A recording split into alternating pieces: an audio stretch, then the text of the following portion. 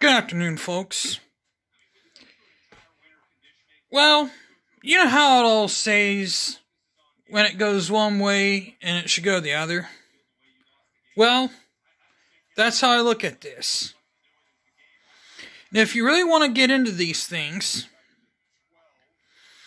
well, let's look at it this way.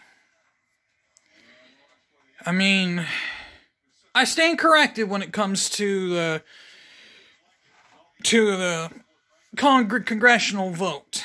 It happened one other time. It happened in 1876 as well, when Rutherford Hayes ran for president.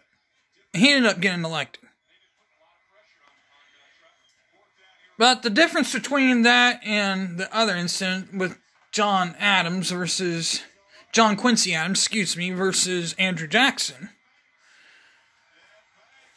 was that. Let's get to that.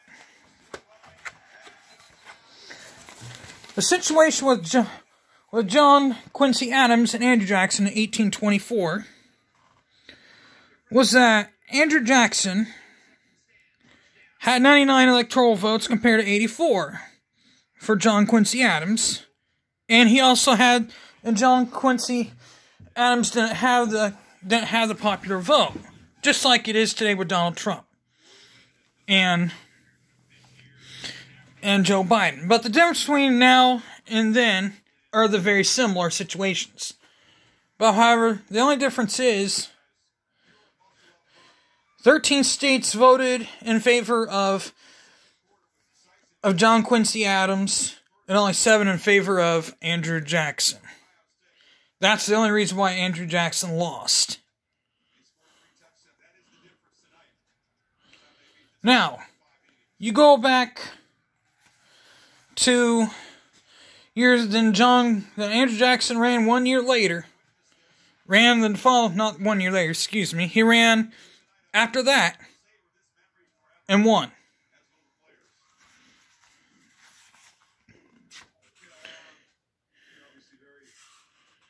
He ran against against his foe and won. Now, rewind years later, 24.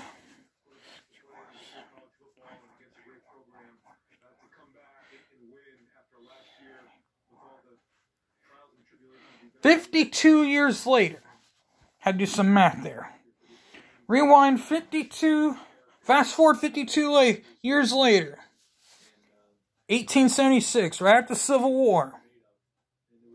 General Grant was in office, getting ready to leave office after he served his two terms. 22nd Amendment wasn't in place yet. You had Rutherford Hayes, a Republican from Ohio, and Samuel Tilden of New York, a Democrat, running. Now, the difference between these two, a little different. Obviously, we'll do a little history with Andrew Jackson. Andrew Jackson had 153,544 votes to 108,740 to 108,740 votes, which would end in for John Quincy Adams. Now, total electoral votes would be 99 votes for Andrew Jackson to 84 votes for John Quincy Adams. Then, obviously, a lot of questioning votes there, so it went to 13 states voting for for for him. Voting for Quincy Adams to only seven for Andrew Jackson, which is where the disappointment came into play for Andrew Jackson, which clearly won. Now, in this situation, supposedly fraud was found in. Now, this is where this case is similar to to what we're dealing with today. Fraud was situ- was clearly a situation back in the day in 1876. Now, I'll read you what this says about in 1876. Let's read this together now.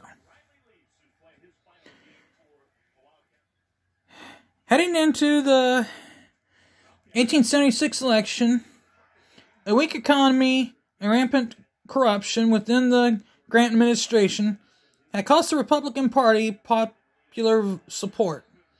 A call for reform dominated the election campaigns of the parties.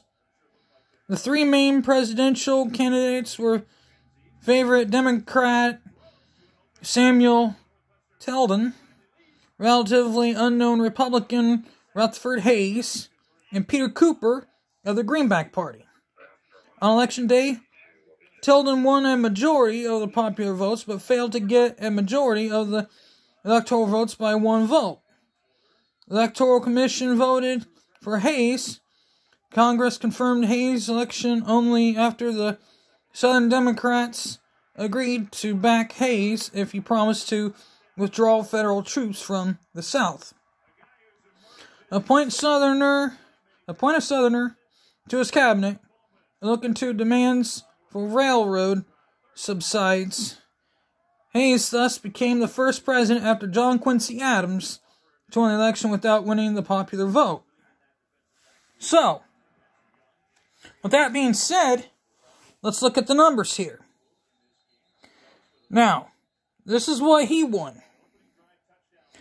Rutherford Hayes, this is the popular this is by popular vote. 4,036,572 votes. Now, Samuel Tilden, the Democrat, won 4,284,020 votes. Now, that's how many votes altogether. Now, if you go by electoral votes, it's 185 to 184, one vote each, one by one vote in favoring Rutherford Hayes. Now, if you want to look at the state-wise, these are the states that were won by by him, by Rutherford Hayes. Oregon, California, Nevada, Kansas, Colorado, Nebraska, Minnesota, Iowa, Louisiana, Florida, Illinois, Wisconsin, Michigan, Ohio, Pennsylvania, Maine, Vermont, New Hampshire, Massachusetts, South Car- and South Carolina. Not sure how much all those are worth. Now, Tilden one Texas, Missouri, Arkansas, Indiana, New York. Um, looks like Rhode Island, Connecticut, New Jersey, Maryland, West Virginia, Virginia, North Carolina, Kentucky, Tennessee, Alabama, Mississippi, and Georgia. He won all those states. Now I don't know how much all those electoral votes were were cost back in the day.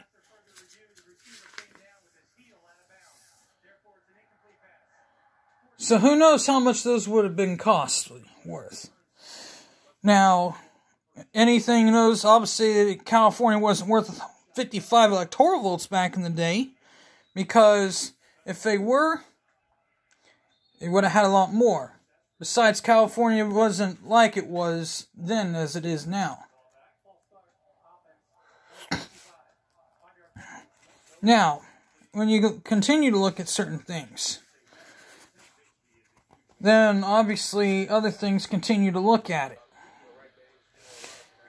But the Democrats look at things differently. They continue to say that we are attacking their democracy by objecting the votes. Okay. What if it was on the other foot? They'd be attacking ours. If they were attacking our democracy, they'd be saying, oh, it was a fraudulent election. Okay, it's a two way street here, Democrats.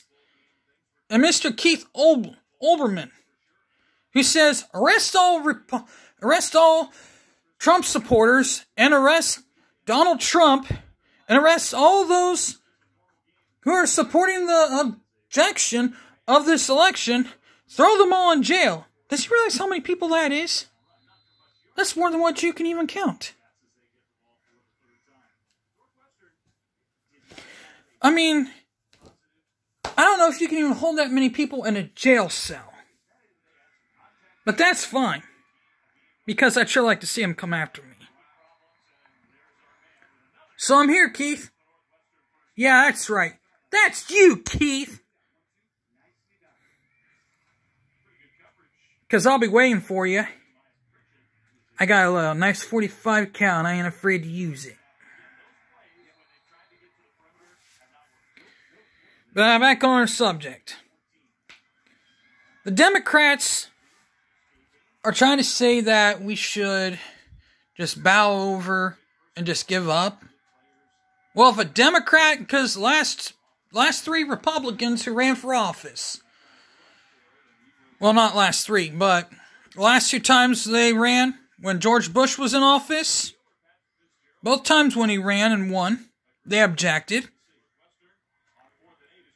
And then when and then when Donald Trump ran and when he won the last time, they objected.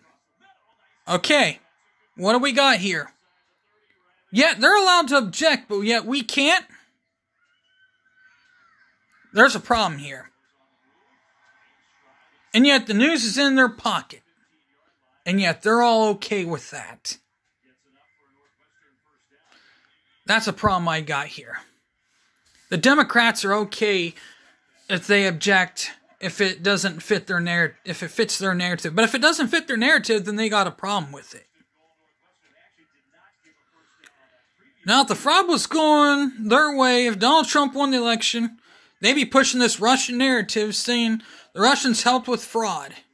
Saying it was all fraud and it was all Russian all over again. They'd be pushing this false Russian narrative again. Just saying and a fact with fact. Well, we all know the facts. And that there are some facts. Well, with that being said, I got some more work I got to do. And I'll see you soon.